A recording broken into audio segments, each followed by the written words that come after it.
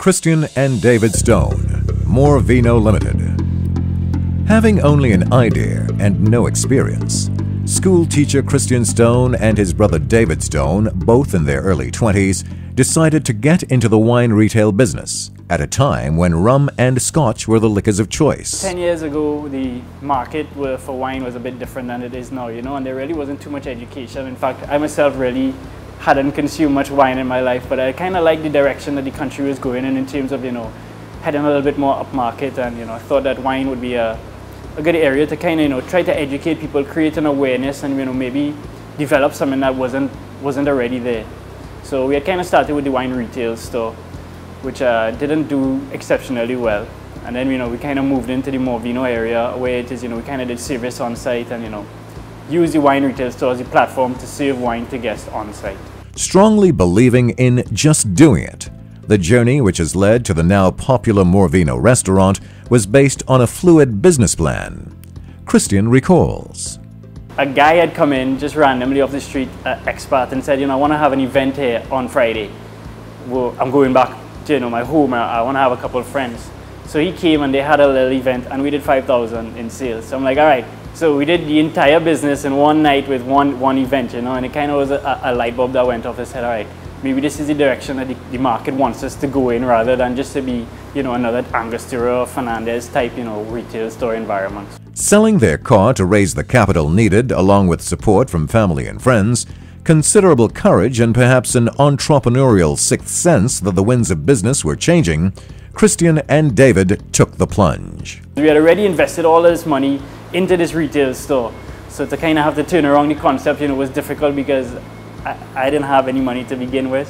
So the money that I did have was invested into the store already. So to change the entire concept was tricky, but I think very necessary. Christian and David have been instrumental in developing both the sophistication of local wine tastes as well as the expansion of the wine and cocktail market. They have seen wine tastes develop from the very sweet to dry over the last decade.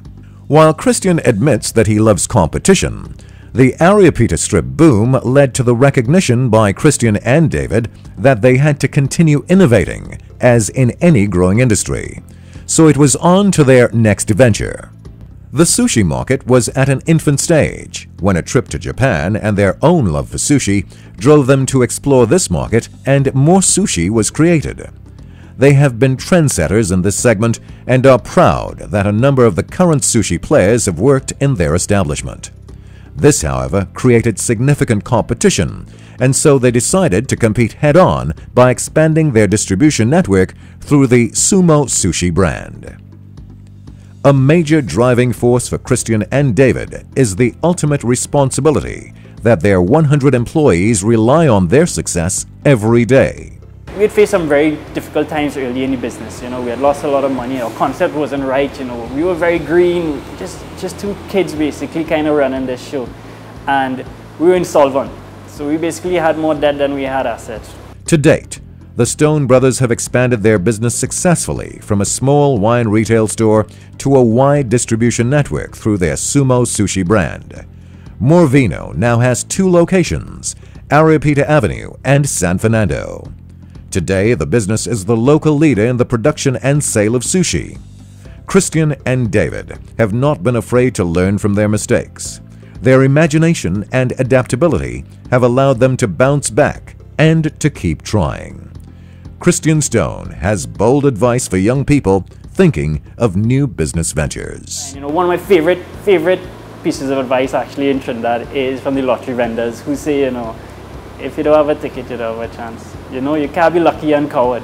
And if it is you're not trying, well then you're not going to make it. So instead of thinking about it, just, just do it. Just get out there and do it.